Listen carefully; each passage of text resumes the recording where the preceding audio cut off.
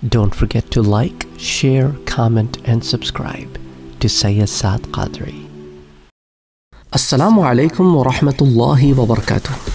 हमारे माशरे में कुछ ऐसे जुमले आम हो गए हैं कि रिस्क तो औरत के नसीब से मिलता है और औलाद मर्द के नसीब से मिलती है अब ये जुमला बचपन से पढ़ाया जाता है तो जब कोई लड़की बाहर से बया के घर आती है और उसके बाद किस्मत से अगर हालात घर के ख़राब हो जाएँ या शोहर को कोई प्रॉब्लम लाइफ में कभी भी पेश आ जाए तो उसका सारा वबाल औरत के सर डाल देते हैं। कि औरत के मुबारक कदम या औरत के मनहूस कदम इस तरह के जुमले इस्तेमाल होते हैं। और I mean it's just crazy अच्छा अगर तो औलाद मर्द के नसीब से होती है ना, पहले तो ये समझ लेते हैं। तो फिर बांझ औरत का कॉन्सेप्ट समझ में नहीं आता राइट हालाँकि अगर देखा जाए तो फिर औरत से तो मुंसलिक कोई प्रॉब्लम होना ही नहीं चाहिए मेडिकली अच्छा इसी तरह जो है अजीब व गरीब सी बातें होती हैं जिन्हें औरतों को मोरज़ इल्ज़ाम ठहराने के लिए लगता है। माशरे ने कुछ ऐसी स्टेटमेंट्स बना ली हैं कि कुछ हो ना हो, हमारा बच्चा बच जाए और औरत को ला के कटहरे में खड़ा कर दें। वो अल्लाह के बंदे ये भी नहीं सोचते कि उनके घर में भी बेटियाँ हैं।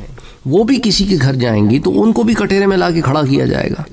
कुरान करीम में अल्लाह ताला ने इस बात को बड़ा वाजे फरमाया। पहले इससे पहले बता दूँ कि जो औलाद का है ना मामला, ये मियाँ बीवी दोनों ही का इसमें नसीब होता है। किसी एक के साथ आप ख़ास नहीं कर सकते। अल्लाह ताला कुरान करीम में फरमाता है कि अल्लाह जो चाहता है पैदा करता है। यखलुख मा यशा। जिसको चाहता है बेटियाँ देता है, कौन देता है? अल्लाह। कौन डिसाइड करता है? अल्लाह। जिसको चाहता है बेटियाँ देता है और जिसको चाहे बेटा देता है। और जिसको चाहता है बेटे और बेटियाँ दोनों देता है। सूरत शुरा में अल्लाह ताला ने कुरान में ये कायदा बता दिया है कि अल्लाह की मर्ज़ी से आता होते हैं। तुम लोगों के चाहने या ना चाहने से आता नहीं होते। हाँ दुआएँ जो हैं इस मामले में, जैसा मैंने आपको आज पहले भी दर्स में बताया था कि बाज़ चीज़ें दुआओं से होती हैं और वो भी अल्लाह के इल्म में होता है कि इधर लड़की लिखी होती है, उधर दुआ आती है, अल्लाह ताला लड़के का फ़ैसला फरमा देता है। ठीक है? तो अब ये मामले होते रहते हैं। अच्छा और रिस्क जो है ना, वो हर एक का अलहदा अलहदा मखसूस भी है मुतन भी है। कुरान करीम की नस से ये बात साबित है। सूरह हूद उठा के देखें बारहवें पारे में। इसमें अल्लाह ताला फरमाता है कि ज़मीन पर चलने फिरने वाले जितने जानदार हैं तो इंसान जानदार से बाहर तो चीज़ नहीं है ना। जिस तरह दरख्त हैं, पे पौधे हैं और इसी तरह हैवानात हैं, हशरात हैं तयूर हैं यानी जानवर हैं, चरिंद परिंद हैं, जितनी सारी चीज़ें, वैसे इंसान भी हैं, जिन्नात भी हैं, जितने जानदार हैं सब की रोज़ियाँ अल्लाह पर है। वमामिंदाबतिन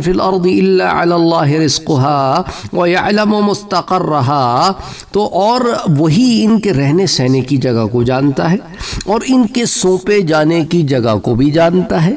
सब कुछ वाज किताब में मौजूद है। कुल्लुनफी किताब मुबीन।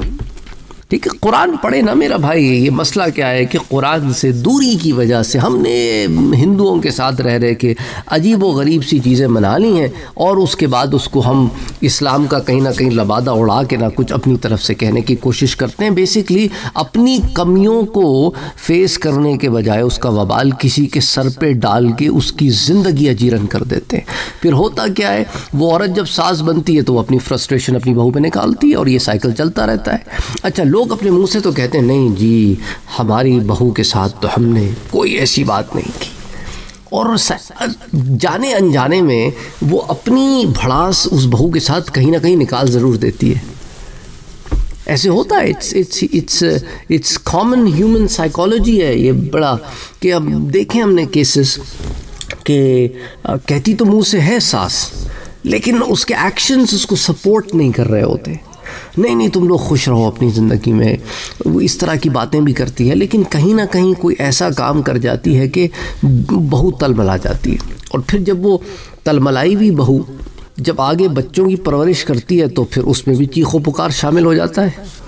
और उसके बाद वो बच्चे भी एक अजीब तनाव के शिकार में पलते हैं और फिर आगे भी ऐसे ही मामले चलते रहते हैं तो सारा के सारा आवा बिगड़ जाता है। ये नहीं कि मैं किसी सास को मोरज इल्ज़ाम ठहरा रहा हूँ, ये बहुएँ भी कभी ज़्यादतियाँ करती हैं। तो ये नहीं है कि बहू को बिल्कुल क्लीन चिट है और सारा इल्ज़ाम सास पे नहीं, कभी सासों की तरफ़ से होता है, कभी बहुओं की तरफ़ से होता है। उधर बहुओं को भी उनकी माएँ जो हैं, वो पिरोती हैं अपने एक्सपीरियंसेस ऑफ़ लाइफ की वजह से बेटी का घर ख़राब कर रही होती हैं।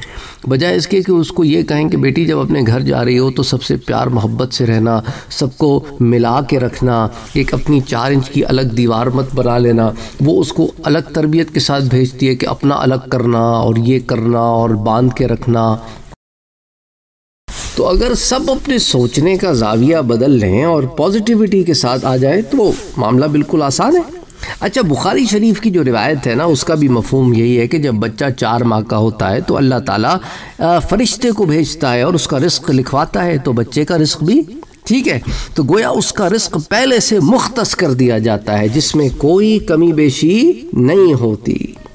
तो इसीलिए मेरे भाई, ये जो हमारे यहाँ बहुत सारी चीज़ें माशरे में दाखिल हो गई हैं।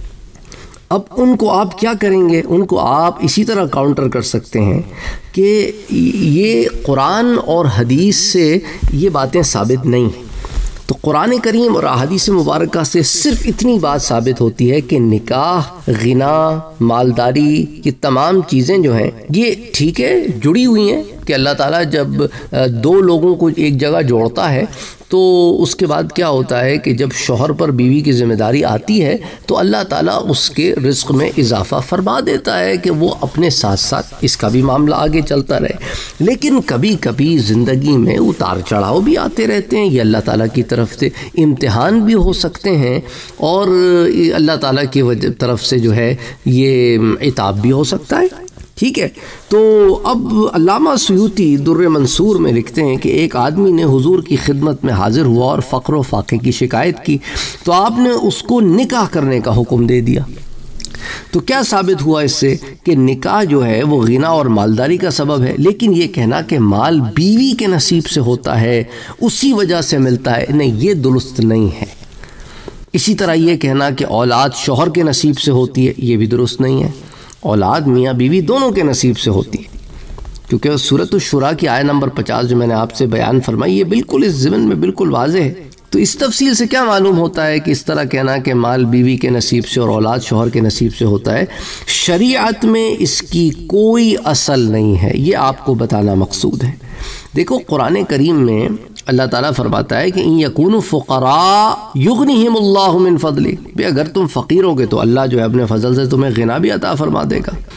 तो इसीलिए सहाबा कराम भी इस तरफ़ कहते थे तरगीब देते भाई निकाह करो, अल्लाह ताला जो है दो लोगों का रिस्क एक घर में जमा फरमा देगा तो यूँ बरकत हो जाएगी।